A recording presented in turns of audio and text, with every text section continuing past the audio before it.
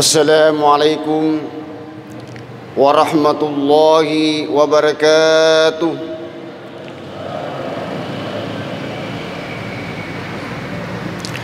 الحمد لله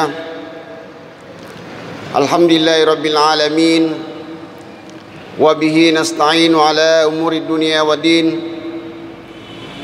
والصلاة والسلام على أشرف الأنبياء والمرسلين. سيدنا محمد وعلى آله وصحبه أجمعين أما بعد Alhamdulillah wa syukrillah Marilah kita kembali manjatkan puji dan syukur kehadirat Allah Subhanahu wa taala. Oleh karena pada subuh hari ini Allah Subhanahu wa taala masih mentakdirkan kita untuk hidup. Allah Subhanahu wa taala masih mentakdirkan kita untuk datang di tempat yang penuh mubarakah ini guna untuk melaksanakan kewajiban kita yakni salat subuh secara berjamaah. Kemudian selawat dan salam kita kirimkan kepada Nabiullah Muhammad sallallahu alaihi wasallam. Nabi sebagai uswatun hasanah, Nabi sebagai rahmatan lil alamin. Jamaah subuh yang dirahmati Allah Subhanahu wa taala. Allah Subhanahu wa taala menciptakan kita sebaik-baiknya bentuk. Fi ahsani takwim. Kemudian Allah Subhanahu wa taala menganugerahkan kepada kita keimanan. Lalu Allah Subhanahu wa taala memberikan kita akal pikiran. Dan Allah Subhanahu wa taala memberikan kita berupa lisan atau lidah. Nah, lidah inilah yang kita pakai untuk kita berkomunikasi dengan Allah, berkomunikasi dengan sesama manusia. Lisan ini adalah merupakan amanah Allah Subhanahu wa taala yang semestinya kita syukuri. Karena adanya lisan yang diberikan Allah Subhanahu wa taala kepada kita. Jadi lisan ini senantiasa kita mengucapkan kalimat-kalimat yang senantiasa kita ucapkan rasa syukur kepada Allah Subhanahu wa taala. Lisan ini kita pakai untuk mengingat Allah Subhanahu wa taala berzikir kepada Allah Subhanahu wa taala. Lisan ini kita pakai untuk membaca ayat-ayat suci Al-Qur'an. Jamaah ini rahmati Allah Subhanahu wa taala. Saya teringat Luqmanul Hakim pernah diperintahkan kepada tuannya atau majikannya Wahai Luqman saya perintahkan kepada kamu untuk menyembeli seekor kambing. Kemudian Luqman Hakim melaksanakan perintah tuannya. Tapi sebelumnya itu tuannya meminta menyampaikan kepada Luqman Hakim Ya Luqman kalau kau sudah sembeli itu kambing maka bawakanlah daging yang paling baik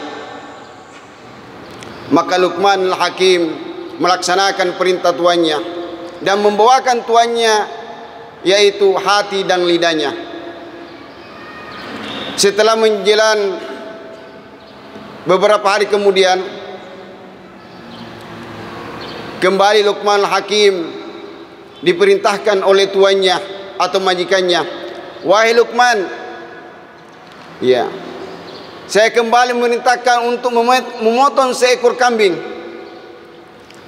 Kemudian Luqman Hakim laksanakan si perintahna majikanna kemudian natika si yaro majikanna daging yang sama hati dan lidahnya. Kemudian makutanai majikanna eh Luqman kemarin saya perintahkan untuk menyembeli seekor kambing kemudian saya minta daging yang paling baik kemudian kau bawakan kepada saya hati dan lidahnya.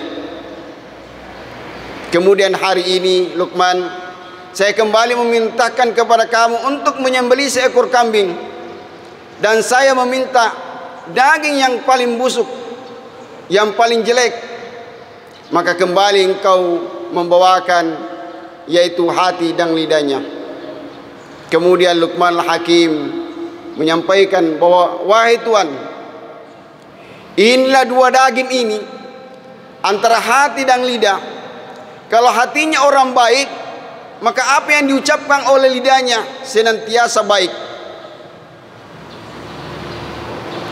Senantiasa mengucapkan hal-hal yang baik. Narekoye duai. Hatinya orang jelek atau busuk. Maka yakin dan percaya apa yang dia keluarkan dari mulutnya dari lisannya adalah hal yang tidak baik. Jadi kalau hatinya orang baik maka dia senantiasa ucapkan lidahnya dengan merasa syukur kepada Allah Subhanahu wa taala. Senantiasa memperbanyak rasa berterima kasihnya kepada Allah Subhanahu wa taala. Dan kemarin saya mendengar ceramah bahwa orang yang senantiasa mengucapkan alhamdulillah atau bersyukur kepada Allah Subhanahu wa taala seratus kali.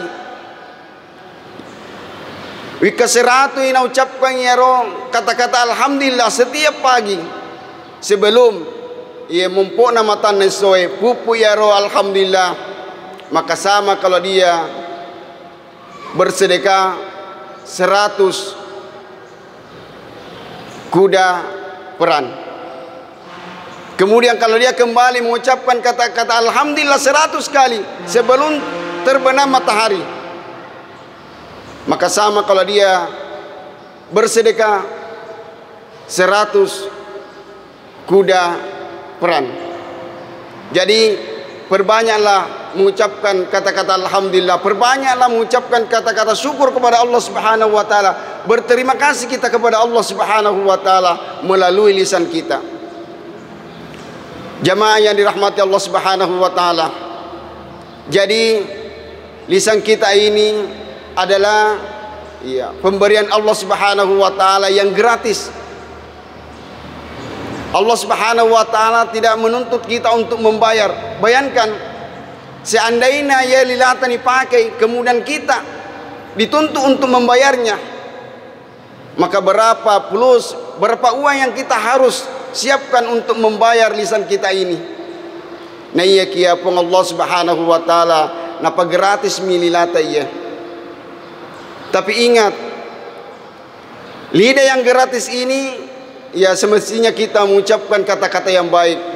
Dipakai untuk masikir marampe-rampe dari Allah Subhanahu wa taala. Kipegai dan sikirita, kipegai baca Qur'an kipegai salawat dari Allah Subhanahu wa taala supaya betul-betul lisan kita ini menjadi rahmat bagi kita.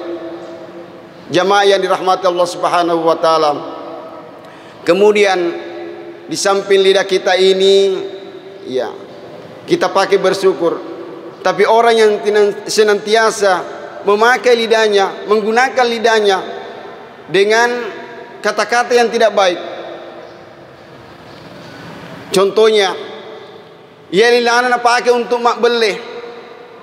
Dia na pakai untuk masikir mak rampe-rampe. Ia kena pakai untuk mak beli-beli maka lidana ya ro ya dia nak pakai untuk masuk kuruk dari Allah Subhanahu wa taala tapi dia pakai untuk kejahatan. Nah ni gini kita senantiasa nak pakai lidana untuk bele-bele maka malaikat Allah Subhanahu wa taala ya dua malaikat nak Allah Subhanahu wa taala jaga iki. Dua malaikat nak nareko ada madece ni pigau si mata marampe-rampe pun Allah Subhanahu wa taala maka malaikat na pun Allah Subhanahu wa taala malaikat atit na catai si bawa amal madece rakib. Na catai pun Allah Subhanahu wa taala malaikat rakib. Na iya kia nareko gau salam ni pigau ada-ada belum ni pigau yang senantiasa bertentangan dengan agama kita bersentangan dengan ajaran agama kita maka malaikat atid mencatat dengan ya amalan yang buruk atau dosa. Jamaah yang dirahmati Allah Subhanahu wa taala. Maka dia Allah Subhanahu wa taala ya ma yalfidhu min qaulin illa ladaihi raqibun atid. Tidak ada satu ucapan pun yang kita keluarkan melalui lisan kita kecuali ya nacatai malaikat Allah Subhanahu wa taala antara malaikat raqib dan malaikat atid jamaah yang rahmat Allah Subhanahu wa taala. Kemudian ia harus tahu si mata degai de na apa? Na pagkagunay lilana si bawa ada-ada madecing si mata atana ata ada-ada mabeli maka pun Allah Subhanahu wa taala wa yaumal qiyamati alladzina kazabu Allah wujuhum muswaddah. Orang yang senantiasa mengucapkan kata-kata bohong maka di hari kemudian akan diperlihatkan orang-orang yang senantiasa berdusta di hadapan Allah. Wujuhum muswaddah Maka ia rupanya adalah malotong Jadi tahu Si mata pada ada-ada beli. Dia suruh mundrina pun Allah subhanahu wa ta'ala. Mukanya dalam keadaan hitam. Malotong ia Nasabah Yordan ni ada ada beli sebuah nak pergi. Kemudian iyakum wal kaziba fa innal kaziba yahdi ilal fujur wa innal fujur yahdi ilal nar.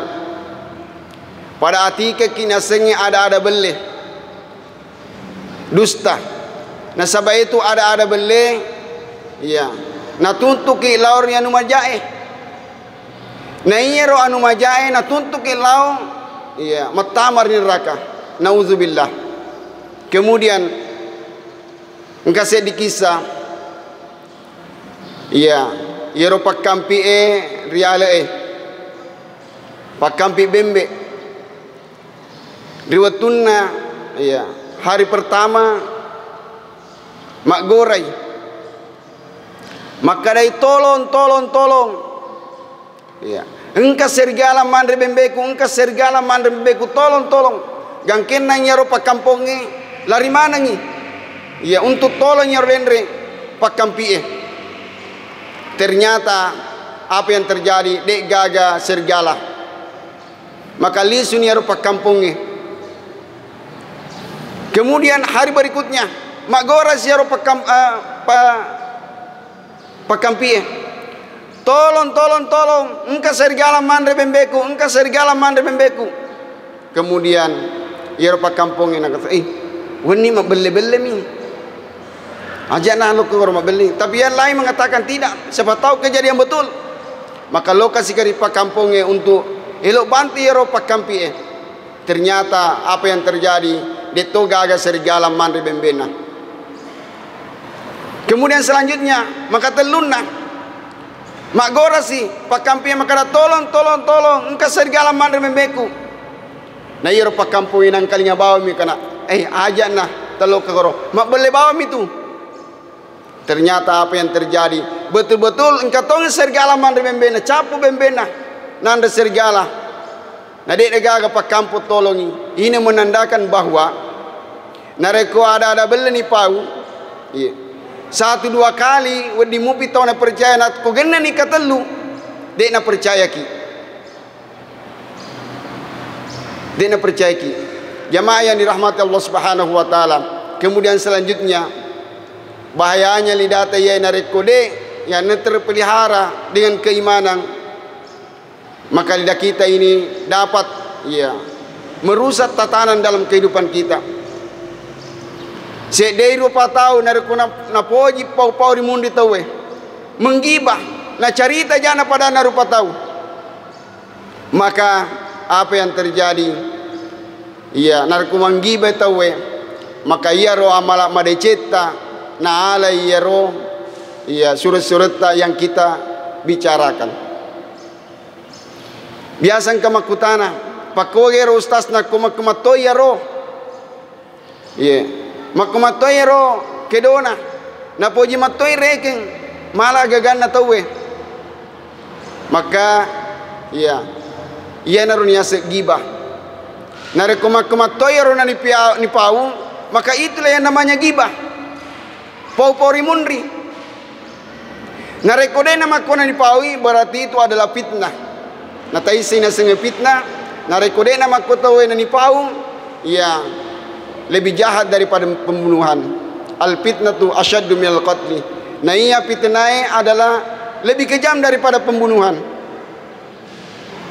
Makanya lebih kejam daripada pembunuhan. Nasabah kalau orang yang dibunuh berarti saya dimitomate. Berarti satu kali. Lepas ni dia gagah. Nah iya kia nak rekodi fitnah berarti itana kasih menderita ya roh. Tahu ini fitnah sampai seumur hidup. Jamaah yang dirahmati Allah Subhanahu wa taala. Kemudian selanjutnya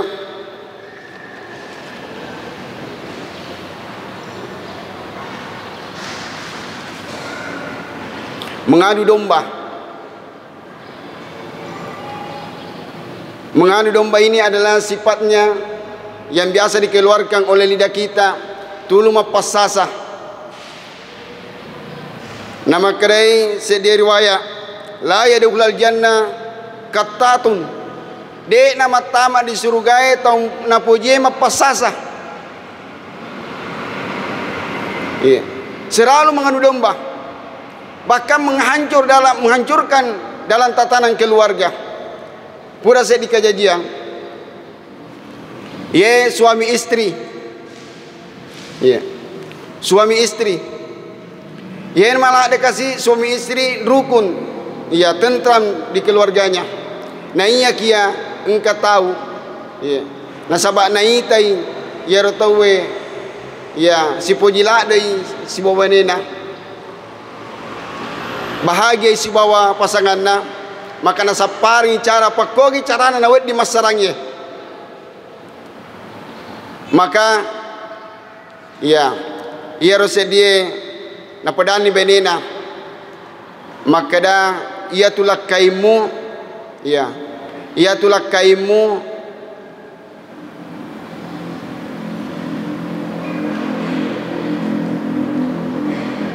Ia itulah ngasih kainu parakan iya. Hati-hati kau nak sekolah kaimu. Kemudian lokasi. Ya kula kaina maka hati-hati kilo beneta. Elok itu na uno.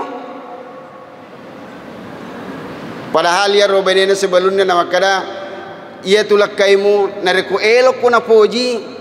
Ya alai ya bulbulun na angkai ko kalipana alai telu lapa. Nareku elok ko malah dan poji lah kaimu alai telu lapa ya ro.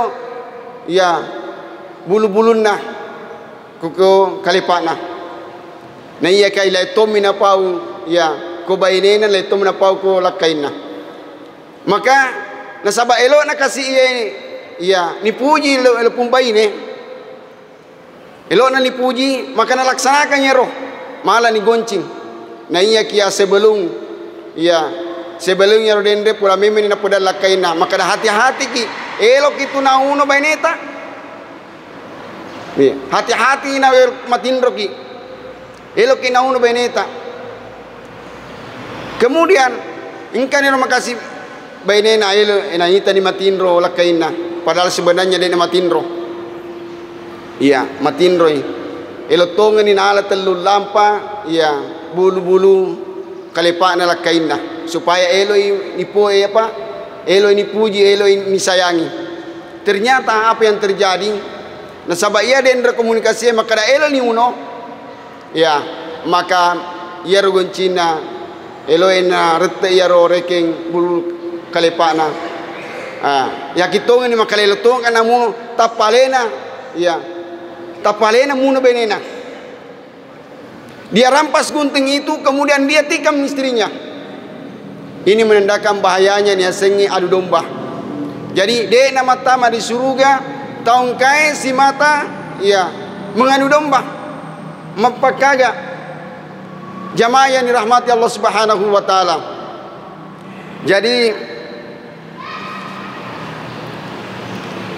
Di bulan Ramadan ini ya bulan yang penuh berkah maka baiklah kita gunakan lisan kita untuk senantiasa berzikir kepada Allah Subhanahu wa taala.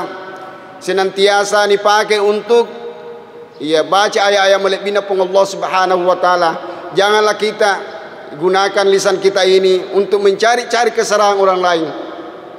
Nareko si mata amala ya amala ni lelung saya teringat nabas nasabat iya iya bertugas di pulau yang terjauh. Pulau Liukan Tanganya. Iya, Macawe ni Bali. Waktu saya keluar baru-baru ini sebelum Ramadan, waktu saya keluar, iya ro saliung ke daerah Liukan Tanganya. Kemarin khususnya Sapuka yang saya kunjungi. Iya ro makun raye senantiasa ya luka mengaji pada para to anak-anak tadi lo mengaji nanti toni Quran pada para nak kowe lo mengaji anak-anak tadi nanti Quran nah bahkan matase kemudian pada mangolo ni ke guru nah ya iya ro nareko umpama sudah mengaji mengaji lanjutan jadi pada nak baca ni bacana, kemudian yang lain menuntung. Nari kuna baca ni alif lam mim. Iya. Nak baca alif lam mim harus dia nak baca alif lam yang lainnya iya. Nak tanggap mana Quran nah? Nari ko saleh tentu nak tegoi. Nak baca ni, kemudian silampa leceh si, diserahkan si maitnya. Makoroma terbegelirang. Nama siri. Iya. Lo mengaji namu matawani maka makiapo ni. Nasabaya ro bola won roye. Iya. Engkana na koro bola won roye. Eh siarin yapona. Na siri lo mengaji pada para anak-anak tadi lo mengaji. Bahkan terakhir saya lihat iya. Terakhir saya lihat engkau tahu Seratus Seratus lima puluh anak guru nak Tania anak-anak SD Tania anak-anak SMP nak pengaji Na iya kia tong ke mana nak keluarga na Makumis ni makiapo ni. Aga na baca. Tania aku ramalop na baca. Tania iflamil menre. Na iya kia aga na baca. Ikrat satu ikrat dua. Ikrat satu ikrat dua. Kemarin saya terlihat yang kena kirim lo di grup liukan tangannya maka alhamdulillah saya selesai ikrat tiga. Luar biasa. Ya tania anak-anak baicu nanya kia ya makiapun kasih. Nanya kia nasaba elok na tutup pada seng agama elok na macam mengaji ya dia tinggalkan pekerjaan nah. Nasalai zaman mana untuk lo mak guru mengaji nasaba ya dia yakin bahwa nareko baca ayat-ayat melebihnya pun Allah Subhanahu wa taala. Satu ayat atau satu huruf maka Allah Subhanahu wa taala melipat gandakan pahalanya. Ni baca ayat-ayat melebihnya pun Allah Subhanahu wa taala. Saya huruf saya pernah satu huruf 30 30 apalang Nareko mengaji tawelna bulan Ramadan tania teluk puluh mi. Tapi dikali 70 Jemaah yang dirahmati Allah Subhanahu wa taala. Jadi ia rona pigawi lo mengaji berarti dia terlepas daripada ya cari tejana tawe. Dia terhindar, dia mencari kesibukan bagaimana supaya dia terhindar daripada ya buruknya daripada lisan ini. Daripada lo kami ya kiri kanan nah cerita jana tawe. Nah iya kian engkau kegiatan apalagi bulan Ramadan ini saya yakin dan percaya guna gunakan ya Ramadan semua decing. Iya. Digunakan untuk mengaji, digunakan untuk berzikir. Dek nagaga waktu untuk cerita jangan tahu eh. Dek nagaga waktu untuk mengadu domba. Dek nagaga waktu untuk ya berburu sangka kepada yang lain. Jamaah yang dirahmati Allah Subhanahu wa taala. Sikoi dari pula Turki. Mudah-mudahan apa barakat pun Allah Subhanahu wa taala nawareki umur malampe natu majapa untuk senantiasa gunakan we ulan Ramadan ini semua decing supaya kita meraih amal yang lebih banyak amal yang lebih mulia karena bulan Ramadan ini adalah bulan yang agung bulan yang penuh berkah bulan yang penuh rahmat. Akhirul kalam minallahi musta'an wal itiklan Assalamualaikum warahmatullahi wabarakatuh